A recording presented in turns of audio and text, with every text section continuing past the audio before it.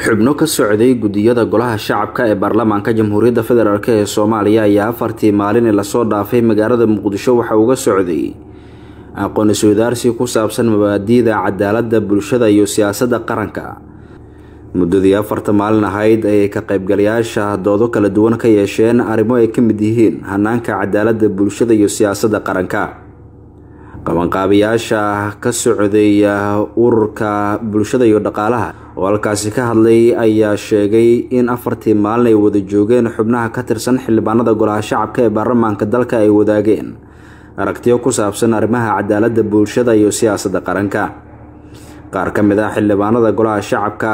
oo aqoon-is-wadaarsigan muddada socday ka hadlay ayaa aragtidooda cabiray waxaana ay sheegeen in maalmihii la soo dhaafay halkan ay joogeen ay waxyaabo badan ka faa-iideen. Gudoomiye ku-xigeenka labaad ee golaha shacabka ee baarlamaanka jamhuuriyadda federaalk ee soomaaliya mudane cabdulaahi cumar abshirow oo si rasmi ah u soo xiray aqoon-is-wadaarsigan ayaa qabanqaabiyaasha iyo taabagelayaasha aqoon-is-wadaarsigan u mahad celiyey isagoo xildhibaanada ka faa-iideystay kula dardaarmay inay xildhibaanada kale gaarsiiyaan waxyaabihii ay ka kororsadeen aqoon-is-wadaarsigan maalmaha socday la joogitaanka aan idinla joogno anagoo ku hadla magacii kan guddoonka waxay muujinaya inaan rabno in cadaaladda bulshada soomaaliyeed aada loo xaqiijiyo. Eskuwan ay nagala shaqeyso mustaqbalka dhow iyo kan fogba inaan waddankeenna soomaaliya inaan cadaaladda bulshada qeybaheeda kala duwan aan aan si fiican ugu shaqeyno baranaa waxa ay tahay cadaaladda bulshada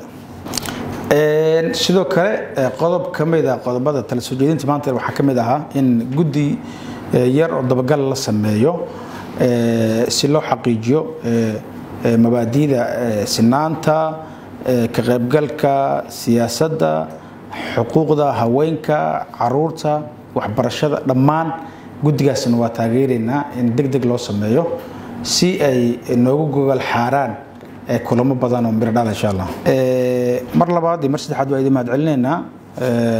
islaamiya iyo mr usama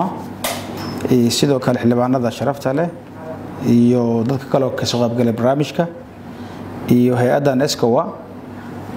ibraahim gudle isxaaq raadayo telefishinka qaranka soomaaliyeed magaalada muqdisho